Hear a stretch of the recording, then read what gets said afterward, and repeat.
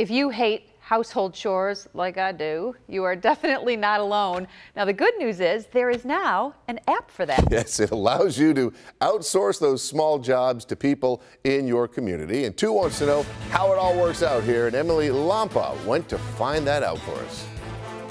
It's being called the Uber app of the handyman industry. Takl and as the name implies, it allows you to outsource those pesky household chores on demand to others in the community willing to tackle them for you, for a fee, of course. Corey Bates is a Takl provider working out of Charlotte, North Carolina. I assemble um, IKEA furniture, um, uh, mow lawns, um, do um, do all kinds of jobs that allow me to use my hands.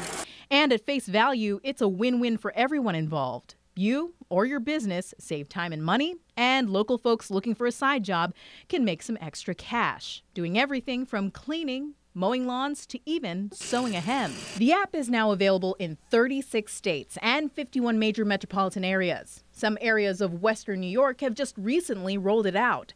This means Takl providers who are signed up and background checked will be available for services in Buffalo, Cheektowaga, Grand Island, North Tonawanda, and West Seneca.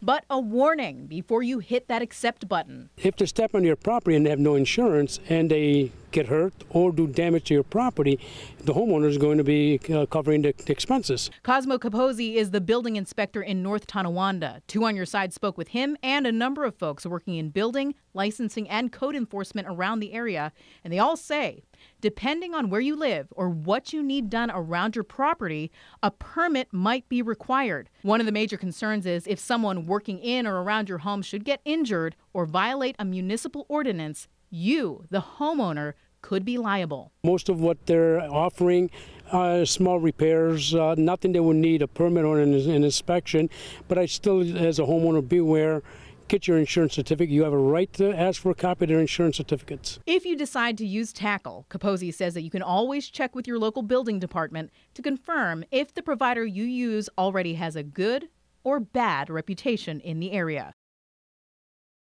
Now, Two on Your Side reached out to Takl about the concerns posed by the building inspectors, and the company told us it reviews all job orders before they're sent out. And if customers aren't satisfied, they'll work to make it right. They also have insurance in case a customer's home or property is damaged. Emily Lampa, Channel 2 News.